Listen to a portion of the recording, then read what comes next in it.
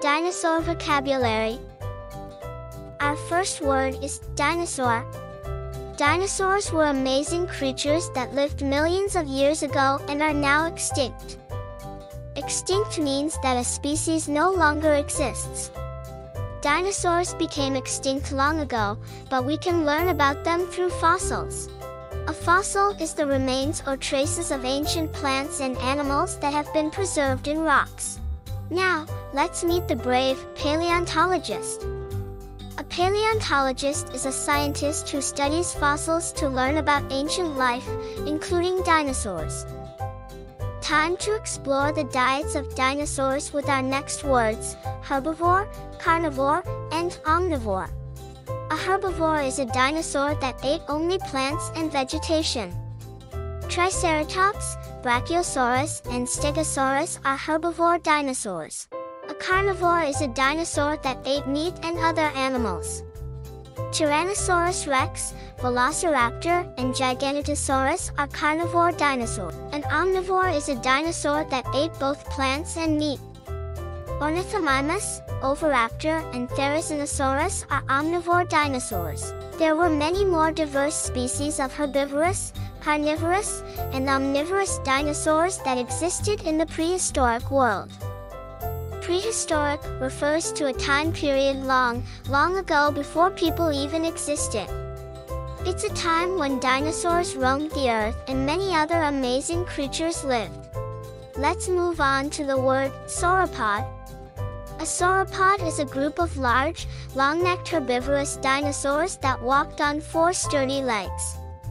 Now, let's explore some body parts of dinosaurs. First up, we have the skeleton.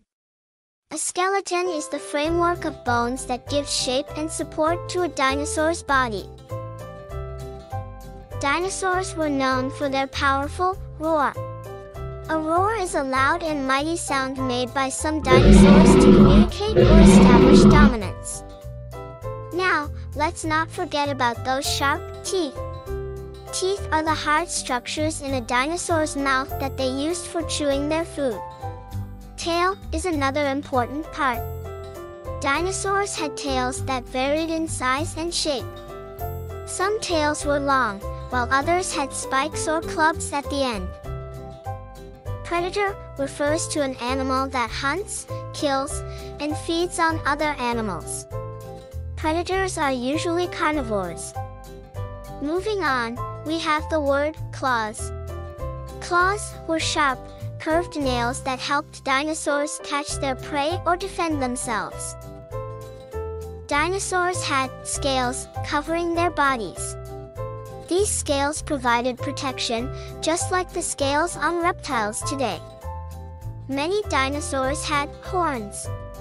Horns were bony structures on their heads used for defense or attracting mates. Next, we have footprint. A dinosaur's footprint is an impression left in the ground by their feet. They are like ancient dinosaur footprints. Last but not least, we have egg. Dinosaurs laid eggs, just like many animals today. These eggs were usually large and held their precious babies. And that concludes our exciting dinosaur vocabulary adventure. We've learned so many fascinating words about dinosaurs. Remember to keep exploring and discovering the amazing world of these ancient creatures. Thanks for watching. Don't forget to like and subscribe for more videos at Funvity channel.